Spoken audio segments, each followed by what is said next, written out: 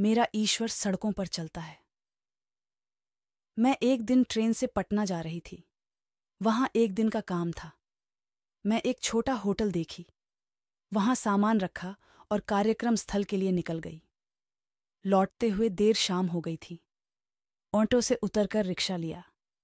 याद था कि होटल किसी गली में है, पर गली तक पहुँचते पहुँचते ऐसा लगा मैं गलत रास्ते पर हूँ।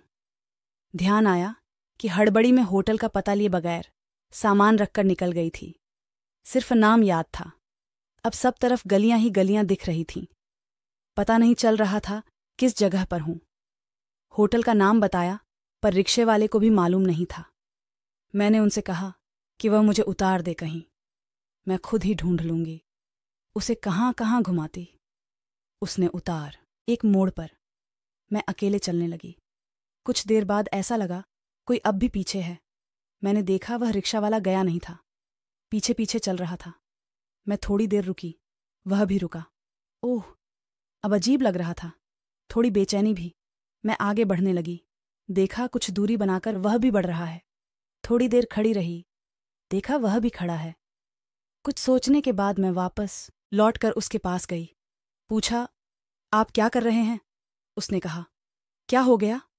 आप पीछे पीछे क्यों आ रहे? रिक्शा वाले ने कहा, इसीलिए आ रहे हैं कि देख रहा हूँ तुम रास्ता भटक गई हो। उसने कहा, इससे आपको क्या? आप जाइए। मैंने कहा, अब उसने कुछ झुंझला कर कहा, नहीं जाएँगे कहीं।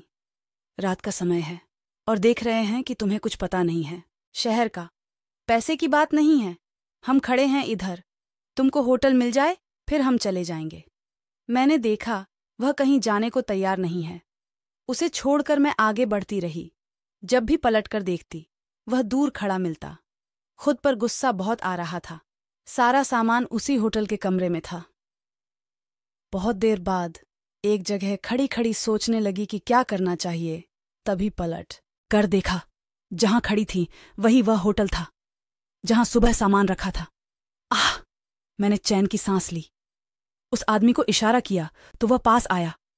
मैंने पास वाली दुकान से मिठाई खरीदी। उसे दिया और शुक्रिया कहा। सड़क पर साथ चलने और मेरे लिए रुके रहने के लिए। आ, तो वह पहली बार मुस्कुराया और बोला मेरी दो बेटियाँ हैं। एक तो तुम्हारी उम्र की है। हम इसीलिए खड़े? हम इसीलिए खड़े थे। मैं उसे देखती रही और वह अंधेरे में गुम हो गया। मैंने बाहर ही एक दुकान से चाय ली और सोचा मेरा ईश्वर सड़कों पर चलता है। भटक जाऊँ तो पास खड़ा मिलता है।